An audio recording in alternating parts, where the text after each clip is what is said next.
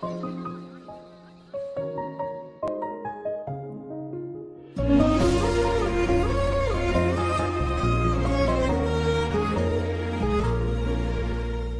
là anh đã biết là tình yêu này chẳng cần thiết.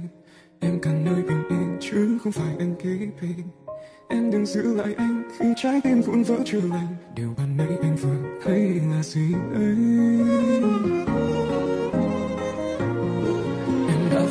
Hôm nay cần kề bên tay, đưa đầu lên vai. Thấy em đang đắm say, chắc em chẳng hay buồn mình chưa chia tay.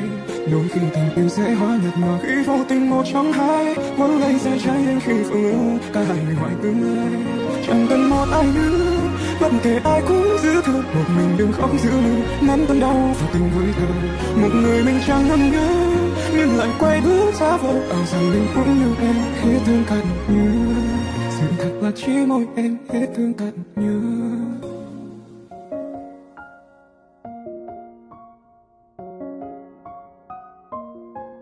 Vì luôn thấy em với người ta, sao mà lại dễ quên em mà? Với tất cả gì đã xảy ra chỉ là còn nhân duyên nên lòng vẫn cứ luyến mai chỉ vẫn buồn buồn chẳng thấy mặt. Em đã vừa vì hôm nay cần kề bên tay từ đầu lên vai. Thấy em đang tắm say chẳng nên chẳng thấy đôi mình chưa chia tay. Đôi khi tình yêu sẽ hóa lạnh mà khi vô tình một trong hai. Muốn anh sẽ cháy đến khi vỡ ta hãy hỏi tương lai người ai cũng cứ thương một mình đừng khóc giữ mình nén cơn đau và tình hơi thở một người mình chẳng nâng nhớ, nhưng lại quay bước ra vào. Vào rằng mình cũng như em hết thương cạn nhớ.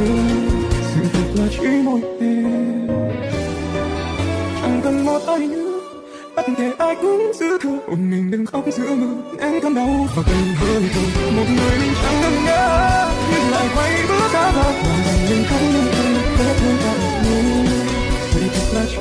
Em hết thương cạn nhớ sự thật là chỉ một người, giữ một người.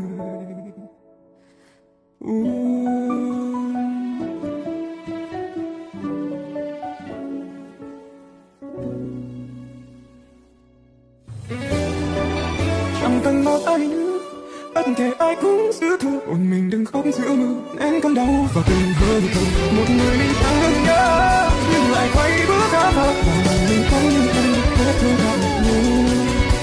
là chỉ một em hết thương cạn nhớ Sự thật là chỉ một người, giữ một người uh.